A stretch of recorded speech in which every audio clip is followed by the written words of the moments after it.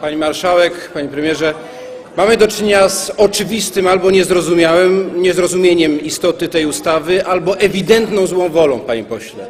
Szanuję pana e, dorobek, szanuję pana zaangażowanie w sprawy infrastruktury i kto jak kto, ale akurat pan doskonale wie, że ktoś, kto jest głównym inwestorem, w tym wypadku Generalna Dyrekcja Dróg Krajowych i Autostrad, nie złoży nigdy w życiu wniosku o pozwolenie na użytkowanie obiektu e, drogi, drogi krajowej albo autostradowej w sytuacji, kiedy nie gwarantuje się pełni bezpieczeństwa i nie gwarantuje się e, y, utrzymania pełni gwarancji w przyszłości.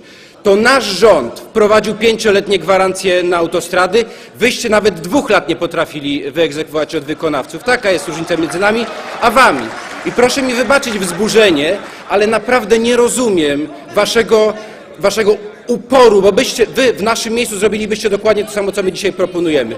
My proponujemy wyłącznie, my proponujemy, my proponujemy wyłącznie użycie narzędzia, z którego będziemy mogli skorzystać, żeby ułatwić Polakom dojazd w czasie euro. Nie ukrywamy, że podstawową podstawową celem jest zapewnienie przejezdności, ale z pełnym zagwarantowaniem interesu e, Skarbu Państwa i bez narażania ludzi e, na niepotrzebne niebezpieczeństwo. Nie ma takiego ryzyka i pan to doskonale wie. Dziękuję.